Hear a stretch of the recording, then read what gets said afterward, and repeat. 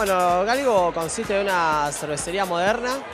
Los viernes estamos trayendo a Tommy Caturla que venga un rato a pinchar eh, un poco de su música, el tech, y que la gente venga y se cope con unos traguitos, a moverse un poco tanto en el happy hour como después a las 11, 12 de la noche. Esperando con ansias la gente que llegue al happy hour a tomar un par de cervezas, unos tragos, viste, la gente se copa con todo eso, la música, los platos, los postres, está buena la onda.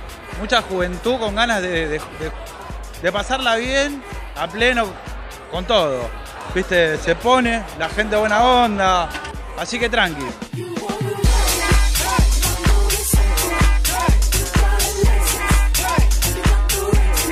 Acá estamos por empezar un set de música en vivo, pero con vinilos, una cosa bastante especial para hoy. Siempre, bueno, la cabina está preparada para, para pasar música con pendrive y la cosa tecnológica.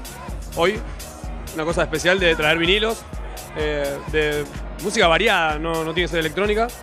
Puede sonar Prince, Depeche Mode, bandas.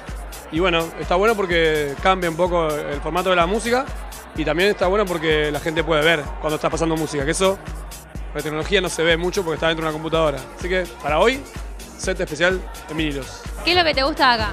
La cerveza artesanal de Mar del Plata, muy rica. La gente, los tragos, la verdad que los hacen bien. Y bueno, y nada, y ahí siempre hay gente linda. Me gustan los tragos, los preparan bien, me gustan las piroscas de acá. Eh, la cerveza tirada, cómo me atienden y ser amigo de los dueños. Sí, está bueno el lugar, es agradable, te atienden bien, la comida es variada.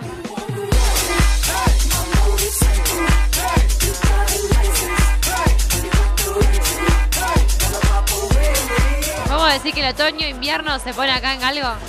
Totalmente, yo firme acá, siempre. Bueno, ¿qué tiene de particular Galgo? ¿Por qué la gente lo elige?